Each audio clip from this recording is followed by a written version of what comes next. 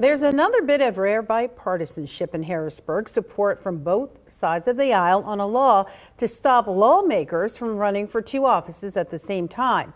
And Dennis Owens is about to bring you something even rarer than that. A politician saying three words, I was wrong. Austin Davis ran for the state house and lieutenant governor in November. Summer Lee ran for the state house and Congress. Perfectly legal to do that.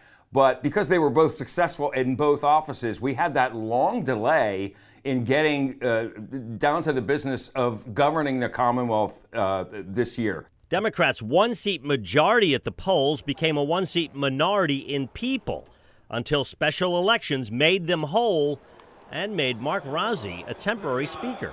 I think it's only fair to the people of this Commonwealth that if, you, if a candidate decides to run, that their name should only appear once on a ballot. That's what caused the chaos. So Rozzi, a Democrat, and Diamond, a Republican, have bills that would ban politicians from seeking two offices in the same election. When I see that how much money that we have to waste on special elections because candidates want to have their name all over the place is ridiculous to me.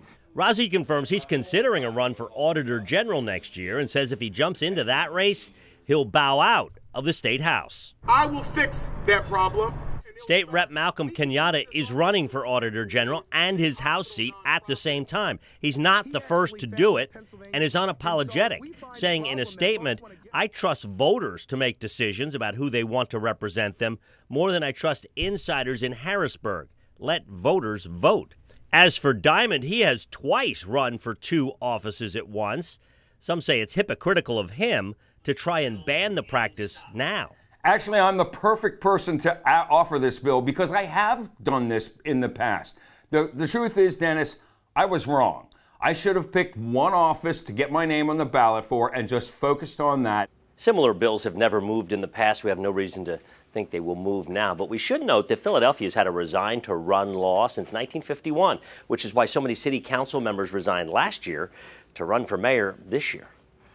In Harrisburg, Dennis Owens, ABC 27 News.